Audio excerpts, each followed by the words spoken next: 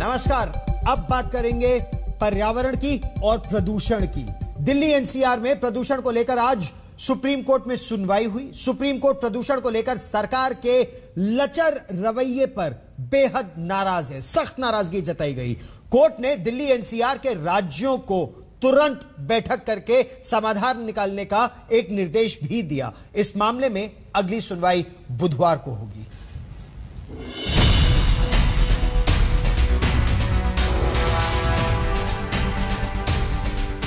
दिल्ली पर छाई प्रदूषण की धुंध अभी छटी नहीं है। हर सुबह के साथ दिल्ली वालों को दम घोंटू हवा में सांस लेना पड़ रहा है। सुप्रीम कोर्ट में सुनवाई के दौरान दिल्ली सरकार और केंद्र की तरफ़ से कोर्ट में हलफनामा दायर किया गया। सुनवाई के दौरान सुप्रीम कोर्ट ने प्रदूषण रोकने के सरकारी रवैये पर सख्त टिप्पणी की। सुप्रीम कोर्ट ने निर्देश दिया कि एयर क्वालिटी मॉनिटरिंग कमीशन आज या कल में एनसीआर के राज्यों के साथ बैठक करें। बैठक में पंजाब, दिल्ली, हरियाणा और यूपी के मुख्य सचिव शामिल होंगे। कोर्ट ने दिल्ली सरकार के जवाब पर नाराज़गी जताते हुए कहा कि सरकारी राजस्व के ऑडिट पर मजबूर न किया जाए।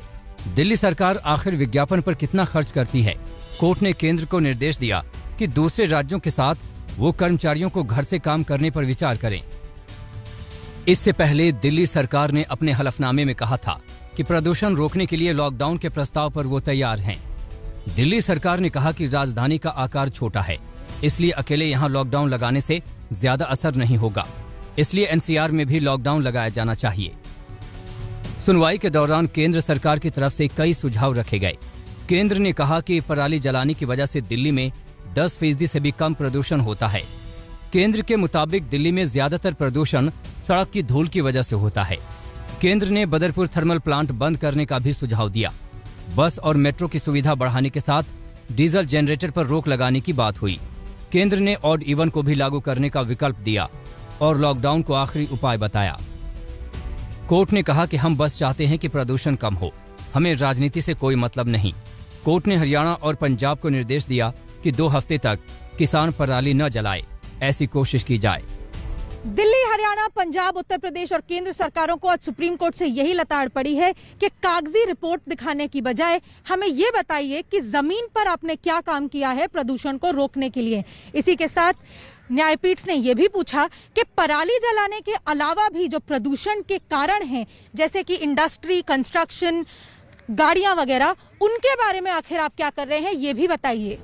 सुप्रीम कोर्ट की सख्ती के बाद दिल्ली सरकार लगातार हरकत में है। पर्यावरण मंत्री गोपाल राय ने मेट्रो, परिवहन विभाग और पर्यावरण विभाग के साथ बैठक बुलाई।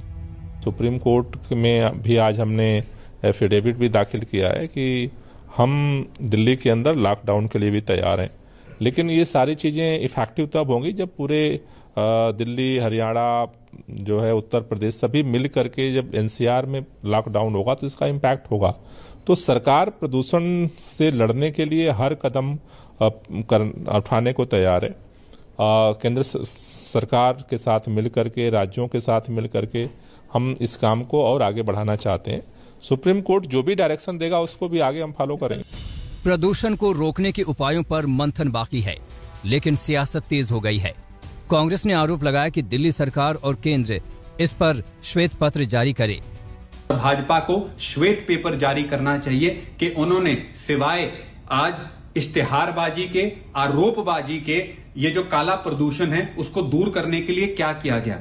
दिल्ली वासियों के आज जो फेफड़े हैं, वो भाजपा और आपकी फेंकू राजनीति की एक बहुत भारी कीमत चुका रहे हैं। आप और भाजपा केवल तारीख पे तारीख की राजनीति करते हैं जब पोल्यूशन का मसला आता है और हर साल जो दिल्ली वासियों की स्वास्थ्य के साथ खेल रचा जाता है, उससे कोई सीख नहीं लेते। इस बीच दिल्ली सरकार ने स्कूलों को एक हफ़्ते के लिए बंद कर दिया है। दिल्ली सरकार के दफ्तरों के कर्मचारी घर से काम कर रहे हैं। 17 नवंबर तक के लिए दिल्ली में चल रहे सभी निर्माण कार्यों पर रोक लगा दी और हम आपको अब सीधे लिए चलेंगे, कर्नल विप्लव त्रिपाठी 46 असम राइफल्स के कमांडिंग ऑफिसर थे। अपनी पत्नी और बेटे के साथ जब चुराचांदपुर से जा रहे थे तो आतंकवादियों ने घात लगाकर हमला कर दिया और घात लगाकर जब हमला किया, आतंकवादियों ने उनके काफिले पर, उनके कॉन्वॉय पर तो इसमें कर्नल विप्लव त्रिपाठी, उनका आठ साल का बेटा अबीर, उनकी पत्नी, तीन क्यूआरटी के जवान और एक ड्राइवर उनका इसमें निधन हो गया। हालाँकि सेना ने जवाबी फायरिंग भी की आतंकवादियों पर और अब एक बड़ी मुहिम छेड़ी जा रही है। प्रयास ये हो रहा है उन आतंकवादियों की पहचान की जाए। पड़ताल इस मामले में शुरू हो गई है। असम राइफल्स की जो टुकड़ियाँ हैं उस क्षेत्र में, वो उनको तलाशने का प्रयास कर रही हैं। हम विस्तार से उस ऑपरेशन के बारे में भी यहाँ आपको बताएँगे। सेना अब इसमें आगे क्या कार्रवाई करती है। लेकिन इस बीच दिल्ली के साथ एनसीआर के इलाके का क्या हाल है? हम आपको वो भी दिखाएँगे। गाजियाबाद, नोएडा, फरीदाबाद और गुरुग्राम का हाल दिल्ली से कुछ खास अलग नहीं है। अब उम्मीद यह जताई जा रही है कि सुप्रीम कोर्ट के निर्देश के बाद एनसीआर में प्रदूषण को रोकने के लिए कारगर कदम उठाए जाएँगे। प्रदूषण की धुंध में गुम राष्ट्रपति भवन। स्मॉग में खो गया इंडिया गेट दिल्ली में तन गए स्मोक गन।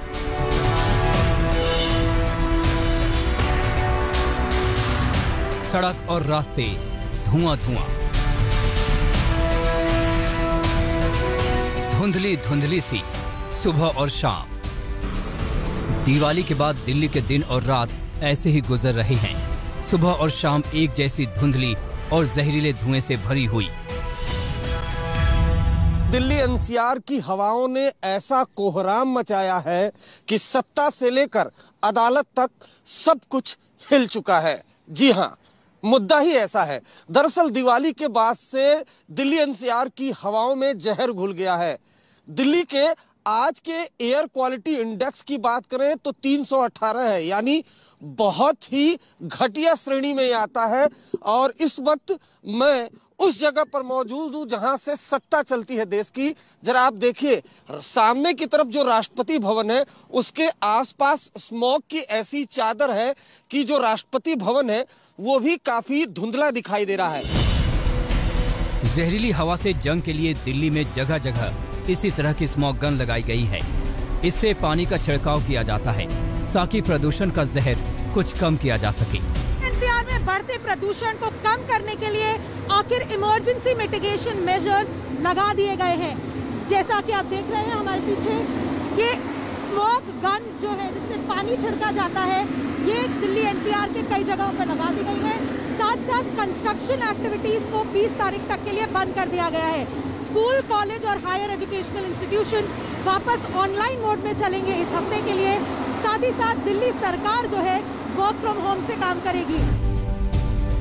सुप्रीम कोर्ट की सख्ती के बाद दिल्ली सरकार ने आनंद फानन में कुछ बड़े फैसले किए। इन फैसलों के साथ हल्की हवा और धूप की वजह से जहरीली हवा का असर कुछ कम हुआ है। दिल्ली में एयर क्वालिटी इंडेक्स लगातार सुधर रहा है। पिछले चार दिनों से खतरनाक से बेहद खराब स्तर तक आकर 318 पर पहुँची है। कुल मिलाकर दिल्ली की हवा अभी ऐसी नहीं है कि आप सुबह की सैर कर सकें, पार्क में दौड़ लगा सकें। सुबह साइकिल की सवारी करने वाले लोग भी ऐसी ही मुश्किल झेल रहे हैं। हम लोग रोज साइकिल चलाते हैं बट दिवाली के बाद थोड़ा टाइम रुक गए थे क्योंकि आँखों में इरिटेशन और थ्रोट पेन वगैरह ज़्यादा था बट अब थोड़ा डिफरेंस है। साइकिलिंग के दौरान मैंने ये नोटिस किया है कि सर्दियों के टाइम में पॉल्यूशन का इशू जो है एकदम से हाई पे हो जाता है जिसका सही रिज्यूम रिटायरिंग रूम और डॉमेट्री है और इसके दूसरी तरफ़ कैफेटेरिया है। अब माननीय प्रधानमंत्री एयर कॉन्कोर्स, यानी प्रथम तल की ओर आगे बढ़ रहे हैं। इस प्रथम तल पर भी वे एस्केलेटर्स के माध्यम से ही पहुँच रहे हैं। हम इस वक्त उस एस्केलेटर के सामने हैं, जहाँ कुछ ही देर में माननीय प्रधानमंत्री हमारे सामने होंगे। सभी नागरिक सुविधाओं को इस बिल्डिंग में अंतर्राष्ट्रीय स्तर पर संजोया गया है। माननीय प्रधानमंत्री, एयर कॉन्कोर्स पर साथ में हैं रेल मंत्री अश्विनी वैष्णव।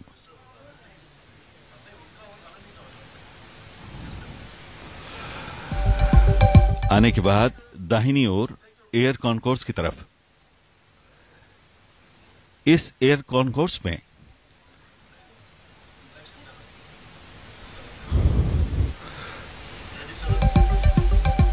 यात्रियों को ट्रेन का इंतज़ार करते समय परेशानी नहीं होगी, क्योंकि यहाँ उनके बैठने की, उठने की बेहतरीन व्यवस्थाएँ जुटाई गई हैं। मनोरंजन के लिए बड़े इस आकार के एलईडी स्क्रीन लगाए गए हैं, और यहीं पर होंगी एक से एक बढ़कर स्वादिष्ट व्यंजनों की दुकानें जो तकरीबन अगले महीने दिसंबर में शुरू हो जाएँगी। इस एयर कॉन्कोर्स में, या यूँ कहें कि इस एयर कॉन्कोर्स कम लाउंज में, इतनी जगह है कि यहाँ एक साथ 700 यात्री एक साथ बैठ सकते हैं। माननीय प्रधानमंत्री, इस समय अवलोकन कर रहे हैं, भोपाल के नए रानी कमलापति रेलवे स्टेशन के और ये सीधी तस्वीरें हम आपको दिखा रहे हैं। इस समय रानी कमलापति रेलवे स्टेशन है। ये भोपाल का पब्लिक प्राइवेट पार्टनरशिप के तहत भारत का पहला अंतर्राष्ट्रीय स्तर का रेलवे स्टेशन है जिसका पुनर्निर्माण और पुनर्विकास जर्मनी के हाइडलबर्ग रेलवे स्टेशन की तर्ज पर हुआ है। इंटरनेशनल रेलवे स्टेशन एक तरह से आ, कहा जाए साढ़े चार सौ करोड़ रुपए की लागत से आ, इसका पुनर्विकास हुआ है। ज़्यादा जानकारी के लिए आपको सीधे मेरे सहयोगी रवीश पाल सिंह हमारे साथ जुड़ रहे हैं। रानी कमलापति रेलवे स्टेशन अगर हम मध्य प्रदेश के मुख्यमंत्री शिवराज सिंह चौहान की बात करें रवीश तो यह कहा कि आखिरी हिंदू रानी थी जिनके नाम पर अब इस रेलवे स्टेशन का नाम पड़ा है। क्या क्या ऐसी सुविधाएँ हैं यहाँ पर जो इसे देश का बिल्कुल अलग और बिल्कुल नया रेलवे स्टेशन बनाती है? रवीश। जी बिल्कुल गौरव और रानी कमलापति, जो कि आखिरी गोंड शासक थी, महिला शासक भोपाल में, उनका ये नाम पर ये रेलवे स्टेशन बना है। और अगर हम बात करते हैं कि कैसे ये देश के बाकी रेलवे स्टेशनों से अलग है तो उसके लिए सबसे पहले आपको बता दूँ कि ये देश का पहला रेलवे स्टेशन है भारत का, जिसको फाइव स्टार जीएम रेटिंग मिली है। क्योंकि ये एक तरीके से देखा जाए तो पूरी तरीके से इको फ्रेंडली रेलवे स्टेशन है। यहाँ पे करीब करीब इस पूरे रेलवे स्टेशन पे 600 किलोवाट के सोलर पैनल लगवाए गए हैं और ये सभी सोलर पैनल प्लेटफॉर्म के ऊपर लगाए गए हैं। पानी की बचत होगी, इस स्टेशन पे पूरा रिसाइकल होगा, इसका पानी और रीयूज ज़ीरो डिस्चार्ज पानी रहेगा इस पूरे रेलवे स्टेशन पर। रेन वाटर हार्वेस्टिंग का पूरा एक तरीके से देखा जाए तो ऐसा एक यहाँ पे ढांचा तैयार किया गया है, जो कि देश के किसी और रेलवे स्टेशन में फ़िलहाल तैयार नहीं है। ये इकलौता ऐसा रेलवे स्टेशन है, गौरव, जहाँ पे पैसेंजर सेग्रीगेशन की व्यवस्था की गई है। यानी जिन यात्रियों को यहाँ से ट्रेन पकड़नी है और अपने गंतव्य की ओर जाना है, वो सीधे इस एयर कॉन्कोर्स के ज़रिए जाएँगे, जो कि देश का पहला एयर कॉन्कोर्स वाला रेलवे स्टेशन है, ये रानी कमलापति। और जिन्हें यहाँ पर ट्रेन अपनी छोड़नी है और भोपाल जाना है, बाहर निकलना है रेलवे स्टेशन से, उनके लिए सबवे सिस्टम बनाया गया है। वो उस सबवे से होते हुए जाएँगे और रेलवे स्टेशन के बाहर निकल जाएँगे। ये पहला ऐसा रेलवे स्टेशन है, जहाँ पे 36 मीटर चौड़ा प्लेटफॉर्म यानी foot over bridge cum air concourse बनाया गया है, जो कि देश में कहीं और नहीं है। और इस एयर कॉन्कोर्स में 900 यात्री न केवल बैठ करके अपनी ट्रेनों का इंतज़ार कर सकेंगे बल्कि अगर उन्हें यहाँ पे भूख लगती है तो उनके लिए खान पान की व्यवस्था रहेगी। जिस तरीके से एयरपोर्ट पर एलईडी स्क्रीन पे फ़्लाइट की जानकारी मिलती है, कमोबेश वैसे ही स्क्रीन यहाँ एयर कॉन्कोर्स पे लगाई गई है। यात्री यहाँ बैठ करके लगातार अपनी ट्रेनों की स्थिति की जानकारी ले सकेंगे।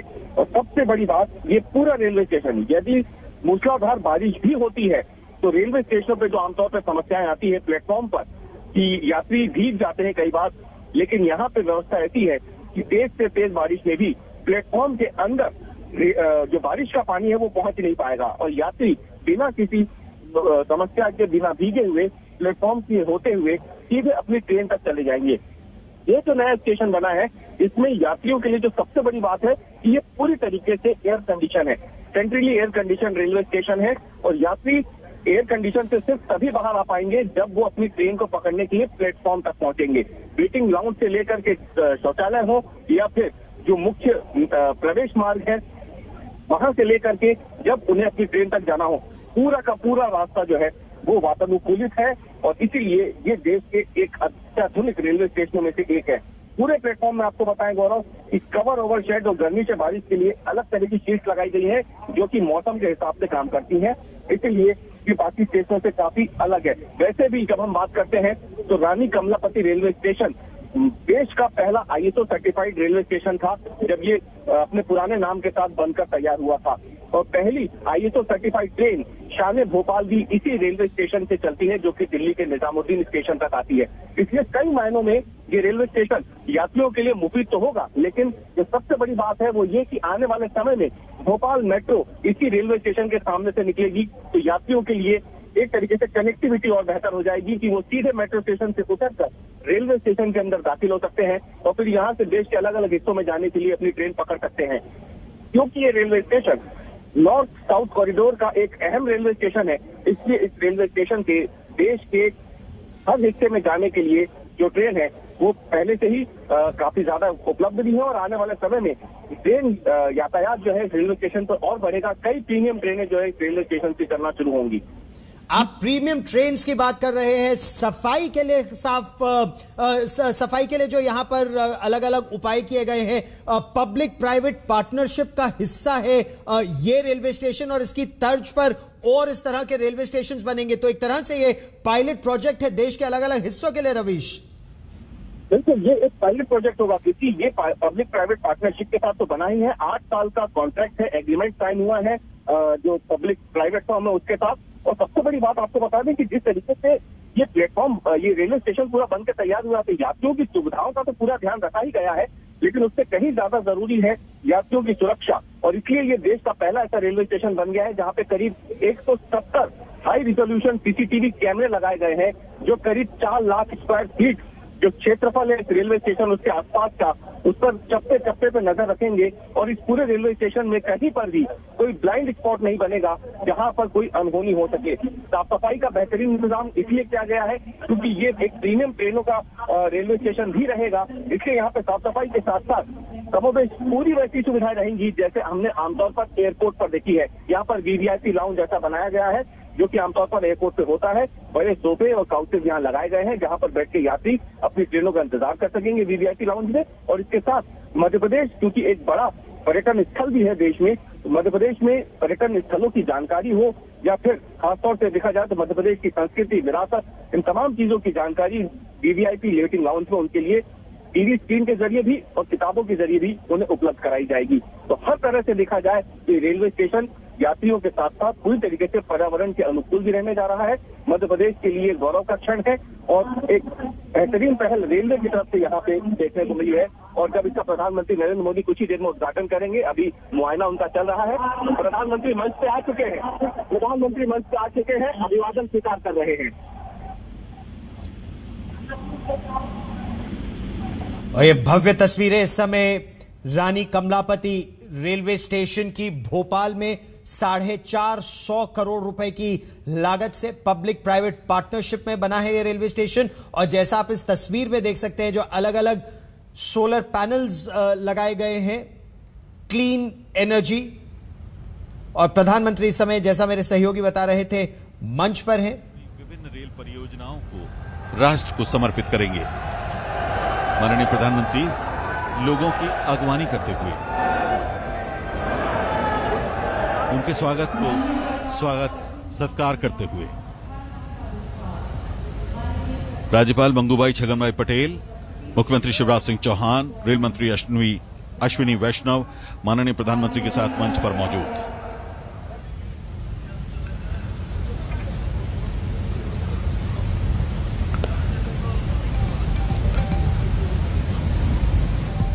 हस्तियाँ मध्य प्रदेश के मुख्य सचिव इकबाल सिंह बैस और डीजीपी दर्शक दीर्घा में सबसे आगे की पंक्ति में विवेक जौहरी।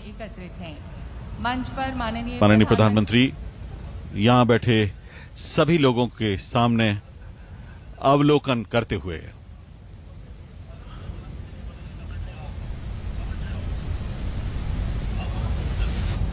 जी और इसी के साथ यहाँ पधारे माननीय सांसद, माननीय मंत्रीगण व माननीय विधायकों और अतिथियों का हम एक बार फिर हार्दिक अभिनंदन करते हैं।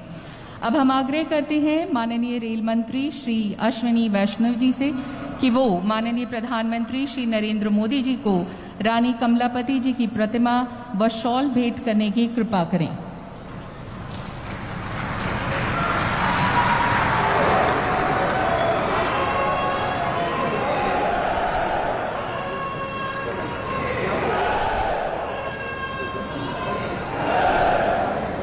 धन्यवाद, श्रीमान।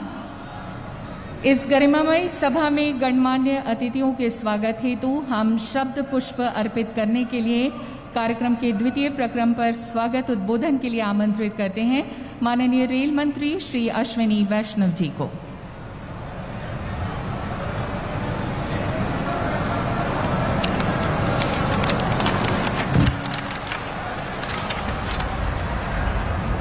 परम आदरणीय प्रधान एक छोटा सा ब्रेक लेंगे हम यहाँ। तुरंत होंगे हाजिर। देखते रहिए आज तक। आज तक। बेमिसाल बीस साल